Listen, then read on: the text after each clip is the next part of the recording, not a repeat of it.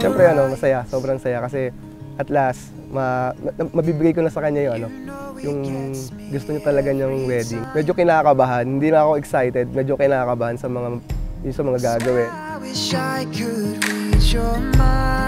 Hindi siya standout para sa akin nun kasi focus ko lang naman kasi talaga nun is work. So basically, Wala, inaasar-asar kami dati sa loob ng tindahan. Tapos ayun, bigla na lang, hindi ko alam, nagchat-chat-chat na siya sa akin. May ibig sabihin na pala yun. Ginarap ko na agad yung opportunity kahit sobrang hirap, kahit ayaw pa ng family niya noon. So ginamitan lang ng sipag kahit walang gwapo, sipag lang. Yung pala, ang lolo mo, alam nyo na, nabighani na sa ano natin. Baby, you know that I want Parang kailan lang, I was still on my waiting season, praying to God for the man I want. And then, suddenly, you came. You're not even my type to begin with. I remember the days na inaasar-asar tayo before sa loob ng tindahan. And then, mayayamot ako. Wow, ganda yan. This 2021 is the year kung gaano tayo sinubok. But here we are, lumalaban tayo. I love you forever, for eternity, until death do us part.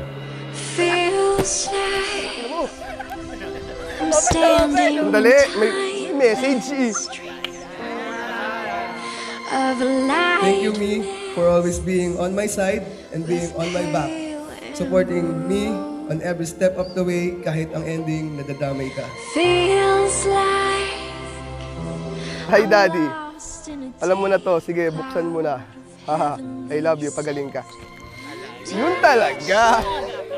Kayo, isa. Ay puta, helmet to. Helmet, boss. Wala akong motor.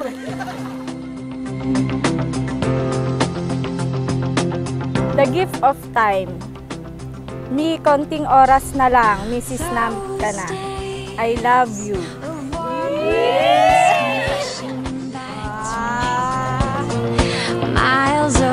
nagkakilala talaga kami ng lubusan, ano, yun. Yung inahalap ko pala sa babae na, ano, lahat is nasa kanya na pala talaga lahat. Secret moments shared in the heat of the afternoon. Out of the I'm still proud. I'm proud. Kung dati, yan, nayayamot pa, pa ako. Pero ngayon, na-realize ko kung gaano ako kaswerte. Sobrang swerte ng dalawa kayo.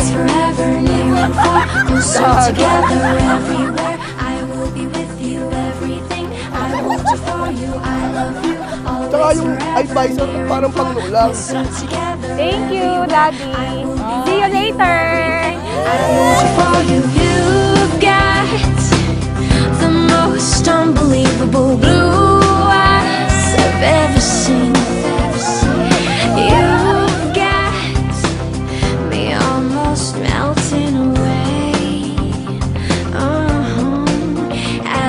Ay daddy, na-prank ka ba naman? Dahil alam mo na, niligyan ko ng konting twist.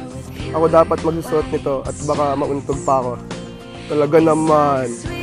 Sana ka siya. Ride safe always. Love you. a magical time. Say it, say it, say it again. I love you, always, forever, near and far, closer together everywhere. I will be with you, everything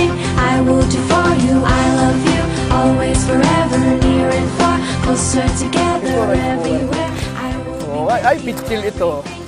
Yan talaga. Washing machine to, feel ko. Wala namang motor. Pasa nga, pasa nga, pasa nga.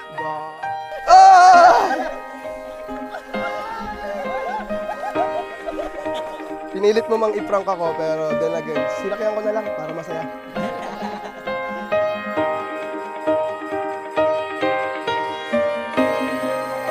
Thank God for being with us all through these rough patches.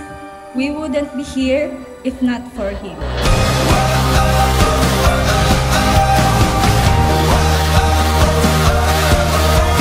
Kaya Kevin, Christine, huwag kayong gagawa ng kahit na anong bagay na pwedeng mamantsahan yung pagtitiwala nyo sa isa't isa.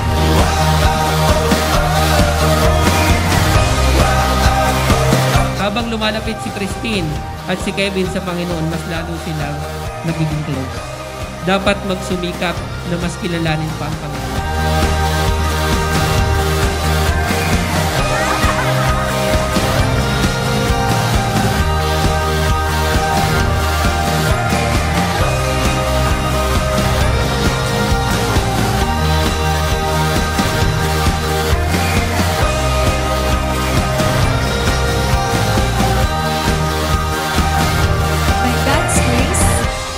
Promise to share my life with you through joy and sorrow, through abundance and lack, in sickness and in health, till death do us part.